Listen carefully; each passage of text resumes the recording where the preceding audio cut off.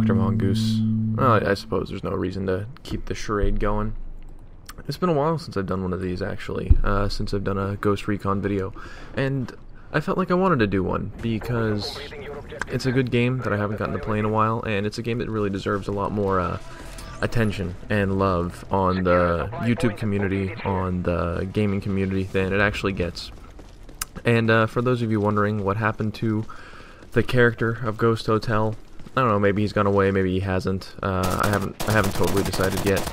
But I just felt like when it came to you know doing this sort of video, this kind of comeback video, uh, an introduction to really the series as a whole again. I felt that you know something a little bit more muted might have been uh might have been a bit more appropriate and a bit better. Um, but yeah, since I haven't really done a video since uh, really explaining how this series works, or at least how this game works, since the uh, first bit of a GameSpot tournament TV stuff I did, I felt like this would be a good way to reintroduce people to the game and talk about how the game works, and uh, really why you should buy it because it is a very very fun game. So, uh, Ghost Recon Future Future Warfare. Um, it's it's one of the most pointed, uh, not pointed, uh, the most you know condensed very strong, um, com- purely competitive experiences I've had in a console FPS for a very long time, almost since Halo 2. Because it's a game, whether intentionally or not, that was kind of designed from the ground up as far as multiplayer goes, that almost forces competitive play. And it's like this because you have um, your main point, your main uh, game mode, every game mode you play, uh, except for two, one, no, except for two, and those are DLC-based game modes that you have to have DLC to um to play. They're objective-based game modes. There's nothing um, team Slayer-based, and that could obviously hurt a game's popularity and hurt a game's population. Um, but for this one, it doesn't. Um, for this game, it really, really helps it because it brings out the competitive nature in people and it brings out that natural teamwork in people.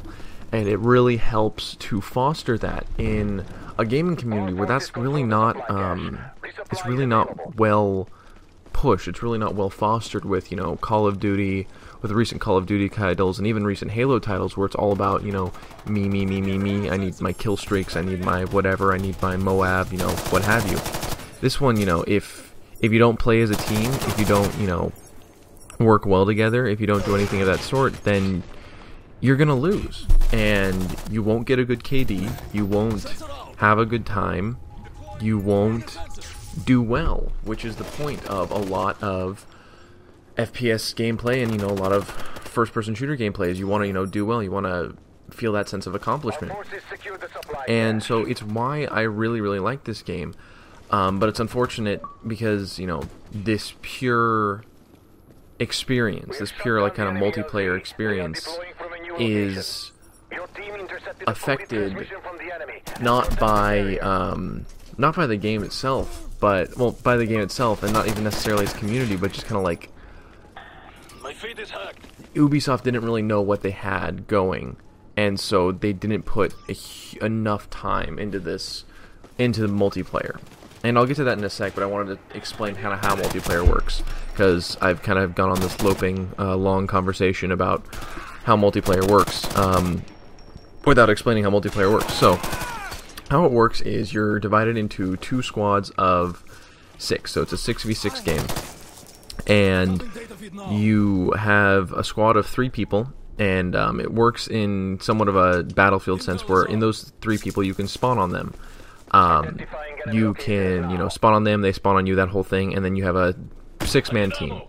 Um, each each objective is some sort. It's to uh, to win. You have to score um, objective points, which is basically um, your kills will factor in only if you know only at the beginning and if the score is tied i.e., so you know when those first objectives haven't come up yet because they take about 10, so 10 to 15 seconds to come up. Any kills you get will give you some score, and at the end, if you know the score is tied or very close, say like you know 245 to 243, your kills will come into effect there. But otherwise, the kills are just to get map control. And the objective points, they're, you know, a variety of things. Some of them are uh, resupply points, where you capture it and then you can resupply grenades, ammo, and all that. And for capturing and holding that point, you can get, um, whenever you resupply there, you get uh, fire ammo instead of, you know, regular ammo. Um, there's intel points, which is basically small little scanners that uh, any enemies that are in the vicinity, if you hold the point, they will appear as illuminated red highlights, as you can sometimes see here. And um, so you can tell when people are coming. There's also high value targets and com arrays, basically the best player on your team based on kills, kills to death, um, support actions, and how many objectives they've uh, worked on or taken. They will be a high value target, and they have to plant a bomb. They have to plant a bomb on you know a com, some com codes or a com array, and when they do that, they will get an you'll get an intel sweep and briefly see where the entire enemy team is and if the enemy team kills him, then they gain uh, points for that. And uh, finally, there is uh, EMP generators, or you know, single, basically what I call single uh, defensible points. Because with resupply points and with the um, resupply points and the scanners, you can have those switch hands constantly. Um, but single defense points would be like HVTs or EMPs, where you only have um, you either defend them or you don't, and whoever takes them, you know, the first time, they uh, they win. So, with that being said, that's kind of how the game works on a base level, but it's got a much more deeper system. Um, because your score is not just determined by how many kills you get versus how many deaths you get. You know, if you do that and you play well, then, you know, good for you. But it places a lot more weight on what you do for your team. So, you know, uh, you can get what's called you can get a stun gun and you can stun people and data hack them. And what that means is that their entire enemy team appears as red highlights. And every time someone kills that person you get what's called an intel assist. Um, engineers also have uh, scanner orbs where you get the same thing only it's a shorter period of time and it works in a grenade sort of fashion. Um, for uh, for uh, the riflemen they have um, they have ammo drops where it's uh, similar to kind of a mini resupply point and you get you know a team bonus every time you do that. So it's very much a game that works in the favor of even if you know you're going in with a bunch of random players and if you work as a team even if like you know two people work as a team versus an entire team of randoms you are better off than an entire team of randoms not working together. So i really love that part that it that it helps you know it, it pushes for the team aspect of things and you know, I've met a lot of cool guys through Ghost, and we have a great time doing these sorts of things. And really, you, I can't say enough about you know how great of a game this is when it's working. And this is where we get to the part of the video where it's the disclaimer. And it's really unfortunate that such a very solid game is marred by kind of what I call Halo 3 syndrome, where one big part didn't really work and so you end up with um, something that's something that I call Halo 3 syndrome. Halo 3 was, you know, you could have fun with it online and all that sort of stuff if you had, you know, a good group of people and you had a real, you had a good connection. Um, I mean, it wasn't necessary, but for competitive play and for the most part, you know, everyone complained about lag in Halo 3. It's the same issue here. This plays amazing on LAN. Take it from me. I have played it on LAN. It's it's beautiful online it's like Halo 3. It's hit or miss. You either get a really good connection or you get a really shitty connection. And when it's really shitty, it's really shitty. Like it's frustrating, tear your hair out shitty. You, people will warp around. Um, you could you could even see it early in the video. A guy appeared in front of me and then disappeared to above me, like on a catwalk, completely on a second on a separate level. Um, so it can it's this really good game with a ton of potential, marred by you know poor a poor online coding and a team that didn't put too much not necessarily didn't put too much work in, but didn't put the right kind of work. I don't know how to say it, but it's you're you're gonna end up with some some issues. Um, there's not though. That being said, there's not many balance issues in this game. Um, which is really nice for a modern for a modern game. Uh, you have very very few balance issues, and what you end up getting is that you know the on an even playing field, whether it's online or on LAN, a skilled player, a skilled player will win if they're more skilled. You know, you have an amazing amount of gun customization, and you know you can change things to suit your playstyle. But if you put two people, you know, just across from each other, and you give them the same gun, the same everything, the same setups, the more skilled player will win. And it's a game that does that very consistently, consistently outside of you know lag issues, which really does help the game as a whole when it does get frustrating because you know deep down that you know okay this is you know this is a bad connection you can leave the lobby and everything will do fine um, so you know it, it it makes it helpful but it, when it's really bad it's really bad and so that can turn some people off. It doesn't turn me off. You know, there are you know times where I'll take a break from the game just because you know it's a little too frustrating, or I don't have my team on because again that is what I'm used to. I'm used to playing with a team. I'm used to playing with you know friends and teammates that you know we do very very well.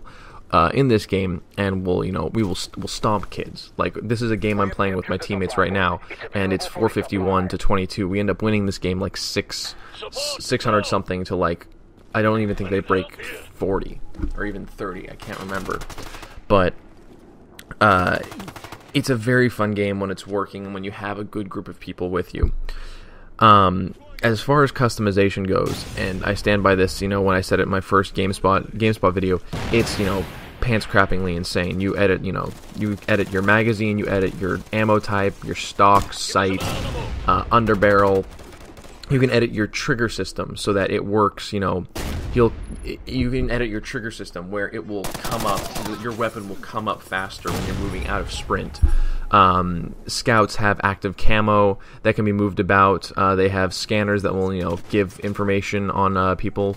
Engineers have you know turrets and UAVs and all this crazy stuff. It's a very very fun game and it's a really good it's a class based multi it's a class based multiplayer game that rewards role playing and rewards flexibility.